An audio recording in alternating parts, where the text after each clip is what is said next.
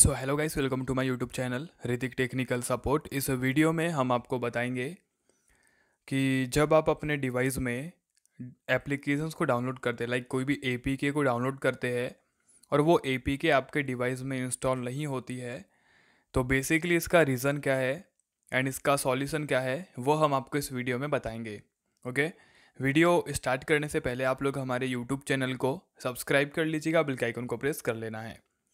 जैसे कि आप जो भी आपका ए पी के रहता है, यहाँ पे हम देखिए ए पी के पे हम क्लिक करेंगे, ठीक है?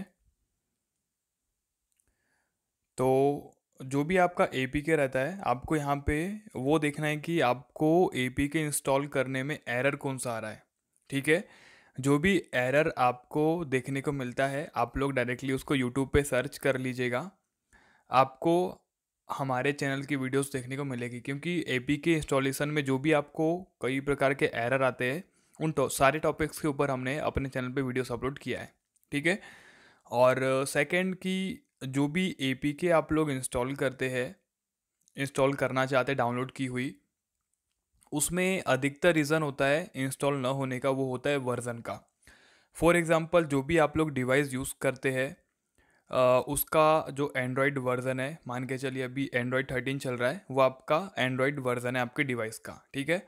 अब कोई ए के आप लोग ऐसे इंस्टॉल कर लेते जो कि वो एंड्रॉयड थर्टीन पे काम नहीं करती तो वो ए के आपके डिवाइस में इंस्टॉल नहीं होगी, ठीक है?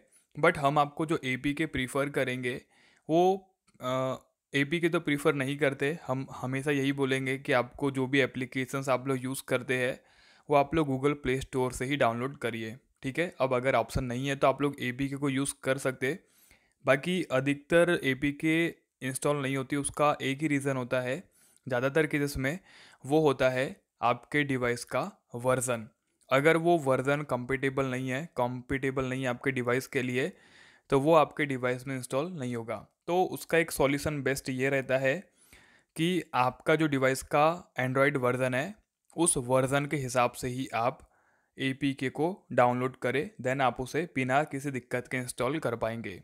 ओके टॉपिक इस कवर मिलते हैं नेक्स्ट वीडियो में। जय माता दी।